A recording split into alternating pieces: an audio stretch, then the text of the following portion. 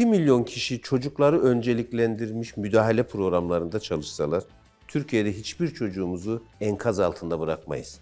Fiziksel olarak belki kurtaramayız hepsini ama zihinsel, duygusal olarak enkaz altında hiçbir çocuğumuzu bırakmayız. Evsiz kaldılar. Bu ilk travma bölümü. İki, işsiz kalacaklar. Ve hayatlarını yeniden inşa ederken çocuklarına bakacak birine ihtiyaçları var. Şimdi okullar açılsın bazen öğretmen arkadaşlarım mesajlar atıyor. Biz bakıcı mıyız? Evet gerektiğinde bakıcıyız. Bunu artık söylemek istiyorum. Biz afet anında çocuklara bakmayacaksak bu mesleği niye yapıyoruz ben gerçekten anlamıyorum. Şimdi öğretmene akıl öğreten e, ebeveynin olduğu bir dünyadayız abi. Gidip benim çocuğuma şöyle yapmışım, böyle yapmışım. Bu ne ya? Doktora gidip böyle kesmişsin ameliyatta falan demek gibi bir şey yani. Herkes herkesi kurtarmaya çalışıyor. Herkes her an her şeyi kurtarmaya çalışıyor ve kimse bir şeyi kurtaramıyor abi. Yani okulu ışığı sönmeyen yerler haline getirirsek o zaman çaresiz durumdaki her çocuk o ışığa doğru koşar zaten. Abi güvenemiyoruz eğitime. Özellikle afet gibi zor durumlardan geçerken insanın en büyük ihtiyacı kendini güvende hissetmek. Bunu konuştuk. Birçok şeye güvenip sığınıyoruz.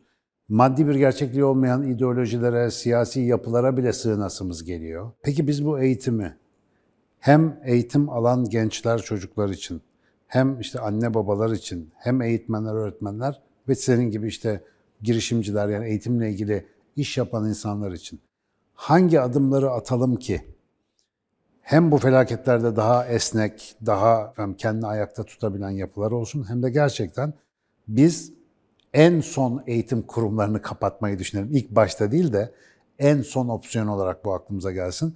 Biraz geçen bölümde acık bir girizgah yapmıştık. Sen demiştin ki işte önce bir fiziksel güvenliği görmek isterim. Yani bir tabela olmalı orada, bir belge olmalı. İşte işi bilen insanlarla birlikte olduğumu hissetmek isterim. Teknik, aynı zamanda psikolojik yeterlikleri olan. Mesela ben bu kısmın biraz da altını çizelim isterim. Çünkü hede höde böyle garip bodoslama ilişki kurma biçimlerini mesela eğitim kurumlarında hiç görmememiz lazım. Herkesin son derece donanımlı, hani insan psikolojisini, çocuk psikolojisini iyi anlayan bir tarzda falan filan olması zaten bir gereklilik. Biraz bunları açalım derim Evet. bu bölümde. Acık daha belki adım adım ne yapabilirim sorusunun cevabı olur. Evet. Ben o sen bir seriye de başlayacaksın biliyorum ne Evet, yapabilirim evet. diye. Ee, Başladık sen- bile hatta.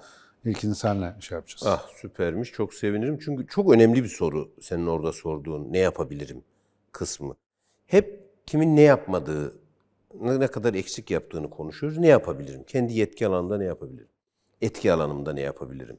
Şimdi ben çocuk görev gücü diye bir şey oluşması gerektiğini düşünüyorum Türkiye'de. Çocuk görev gücünden kastım şu. Afet ve acil durumlarda çocuklar ve ebeveynler nereye sığınacak? Bu sadece fiziksel sığınma değil. Dediğim gibi ya ben kimi aramalıyım? Dediğinde çocukları önceliklendirmiş ve bunun için teyakkuzda olan bir grup yaratmamız gerekiyor. Şimdi Türkiye'de şu anda 1 milyon 200 bine yakın görevde öğretmen var resmi ve özel okullarda. Yeni emekli olmuş hızla göreve dönebilecek olan en az 300 bin e, emekli öğretmenimiz Ya var. evet, Genç emekli evet, öğretmenimiz. aynen. Atanamamış öğretmenlerle 2 milyon kişiden bahsediyoruz.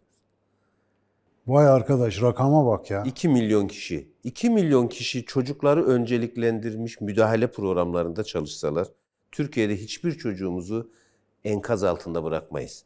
Fiziksel olarak belki kurtaramayız hepsini ama zihinsel, duygusal olarak enkaz altında hiçbir çocuğumuzu bırakmayız. Abi hiçbir YouTube program çekimde böyle bir şey söylemedim ama gel şunu organize edelim ya. Evet, Abi bu çok büyük bir şey yani. Büyük bir hikaye. çok büyük bir hikaye ve ben bunun oluşması gerektiğini düşünüyorum.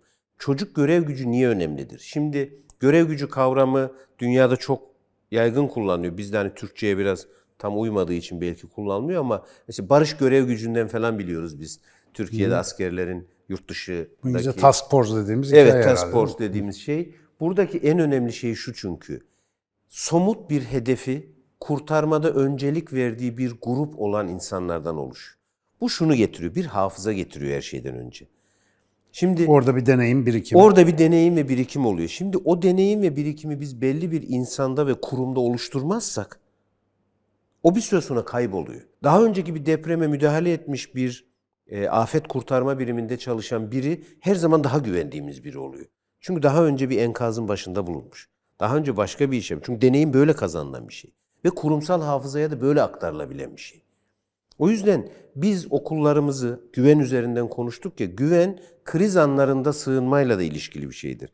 Kriz anında kimin doğru davranacağını bilmekle ilgili bir şeydir.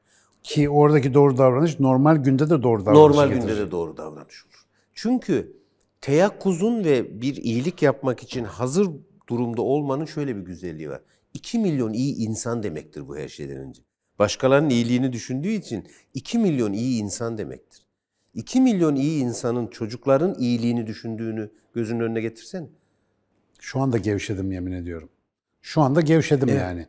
Fikir bile çok iyi geldi. Yani bunu çok istiyorum hayata geçirmeyi. Sen zaten ne yapsak birlikte yaptığımız ve iyiliğin peşinde Abi bu yapılabilir için bir şey ya. Bunu yapalım istiyorum ben. Bir de şöyle bir tarafı var. Mesela bu 2 milyon öğretmenin hepsi de belli yaş gruplarında daha fazla deneyim sahibi. Tam da Onda da altta bölüştürüldüğünü Onları düşün. da altta bölmemiz gerekiyor. Ama şunu da düşündüm ya bu aslında muhtemelen tabii işte AFAD'da MAFAD'da orada burada bunun bir ilmi vardır tabii ama mesela burası bu grubu sahiplendiğinde başka yaş grubu ya da başka demografik düzeyler için başka grupların da tesis edilebilmesi. Tam da öyle. Zaten bizim afet müdahalemizdeki sorunu ben burada buluyorum. Hani bizde şöyle ya elektrik arızası olduğunda ya birini ara. Orman yangını olduğunda biri, şehir içinde güvenlik sorunu yaşadığında biri, ne şehir dışında yaşadığında birini. Yani dünya bunu ne yapıyor? 911, 112 bir numarada birleştiriyor. Bunun nedeni ne? Bir yerde birleşsin sonra da uzmanlara dağılsın. Afet anında şöyle düşünün. Enkaz başındaki bir anne. Enkazın altında eşi var belki, yanında çocuğu var. Bakın eşine yardım edemiyor. Niye? O sırada bir görev gücünün o çocuğu güvenlikli bir yere taşıdığını düşünün. Tabii ki. Okulların açılması meselesi de bu nedenle önemli. Şimdi insanlar yeni bir hayat kuracaklar. İşsiz kaldı, evsiz kaldılar. Bu ilk travma bölüm. İki, işsiz kalacaklar. Ve hayatlarını yeniden inşa ederken çocuklarına bakacak birine ihtiyaçları var. Şimdi Ne okullar bir ihtiyaç. açılsın öğretmen arkadaşlarım mesajlar atıyor. Biz bakıcı mıyız? Evet gerektiğinde bakıcıyız. Bunu artık söylemek istiyorum. Peki nesin diye sormak lazım. Evet yani, yani. biz afet anında çocuklara bakmayacaksak bu mesleği niye yapıyoruz ben gerçekten anlamıyorum. Bizim birinci görevimiz biz çocuklara hizmet etmek üzere dizayn edilmiş bir mesleğin temsilcisiyiz. Hele ki abi şöyle bir durumda işte şimdi dilimize de yerleşti artık. Afet ve travma çok konuştuğumuz bir konu ama abi benim yaşımdaki adam travma geçirse ne olur, geçirmese ne olur? Yani zaten beynimiz belli bir yapıya gelmiş. Bundan sonra hani çok radikal değişiklikler olmuyor bizde. Çok çok ağır bir şey olmadıktan sonra. Ama mesela küçük bir çocuğun sadece yani yalnız bırakıldığında, bırak afet falan yaşaması, çocuk fazla yalnız kalırsa beynin küçüldüğünü Evet. biliyorsun. E şimdi mesela böyle bir ortamda bir acil müdahaleyi insanı bu kadar iyi bilen, senelerce insanla çalışmış öğretmen, eğitmen yapmıyorsa, yapamıyorsa o çocuğun 20 sene sonraki durumunun bize neler getireceğini artık çok iyi biliyoruz yani. Tamam. Dolayısıyla çok hani enkaz kaldırmak kadar acil ve önemli bir iş bu. Kesinlikle bu Çok mühim. geleceği enkaz altında bırakmak anlamına geliyor. Çocukları oradan çıkarmazsak zihinsel ve duygusal olarak geleceğimiz enkaz altında kalır. Öğretmenleri burada kişi olarak öğretmen suçlu diye gördüğümü lütfen anlamasınlar. Beni takip eden Yok abi bu bir dostlarım bilir. sistem sorunu tabii tabii. okulu hayatın merkezinden çıkardığımız için böyle oluyor. Yani yapı davranışı belirler diye bir sosyolojik kavrama çok inanırım ben. Siz yapıyı toplumsal hayatın içerisinde nereye oturtursanız o yapının içindeki insanlar da ona uygun davranmaya başlar. Bu arada hakikaten bak sen anlatırken mesela şimdi afet durumunda bunu yapamayız ama afet sonrası görece normal günlerde ben okulu tekrar bir güven alanı, tekrar bir öğrenme alanı, tekrar çocuğun koşa koşa gitmek isteyeceği bir yere dönüştürürsem Allah korusun bir sonraki afette bu görevi zaten otomatikman devralacak. Tam Yani da öyle. Onu yapamadığımız için bu Yapa- olmuyor. Tam da öyle. Şimdi ben bakıcı mıyım diyen bir öğretmeni düşünün. Eğer bir afet anında bir çocuk koşa koşa ona sığınırsa o artık der, evet ben bir bakıcıyım. Benim bir çocuğun sığınacağı güvenli liman olmak gibi bir rolüm varmış der. Yani çocuğun gözleri, çocuğun gözündeki korkunun gittiğini görmek, yalnızlığın, çaresizliğin gittiğini görmek en katı yüreği bile yumuşatır zaten. O yüzden okulları yeniden yaşamın merkezine alalım geleceğimiz açısından. Oraya alırsak, orayı çocuklarımız için sığınacak yer, öğretmenlerimizi de gelecekteki bu tür afetler durumunda bir iyi eğitimci olarak çocukların sorumlulukları, çalmaları, çırpmaları gibi yetişkin davranışlarının çoğu içeride. Anne baba olarak. Şimdi ilkokulda ödevini yapmayan bir çocuk evde elektrik kesildi, su yoktu diye yalan söylediğinde biz şunu diyebiliyor muyuz? Öğretmenine git ve özür dile. Geciktiğini, ihmalkar davrandığını, görevini yerine getirmediğini, bunu telafi edebilmek için ne yapabileceğini söyle. Tabii bu durumda öğretmenin de ailede bir karizmasının olması Öğretmenin lazım. de bir karizmasının olması. O Eski yüzden günlerdeki gibi. Ne olur şu öğretmenin karizmasını çizme konusunda da hepimiz şeyiz. Şimdi öğretmene akıl öğreten e, ebeveynin olduğu bir dünyadayız abi. Gidip benim çocuğuma şöyle yapmışım, böyle yapmışım. Bu ne ya? Doktora gidip böyle kesmişsin ameliyatta falan demek gibi bir şey yani. O yüzden geleceği düşünüyorsak çocuklarımız açısından bir, öğretmenlerimize hak ettiği rolü, yeri vereceğiz. Onun içerisinde bu rolü, görevi yerine getirmeyen olursa onu eleştireceğiz. O onun eksikliği haline gelsin. Biz toplumsal rolü verelim, o onun eksikliği haline gelsin.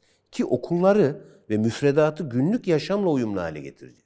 Yani biz bir afet ülkesiyken, afet bizim müfredatlarımızda sıradan bir gündem, yılda bir kere yapılan bir tatbikatla geçiştirilebilecek bir şey değil. Ben deprem kolundaydım.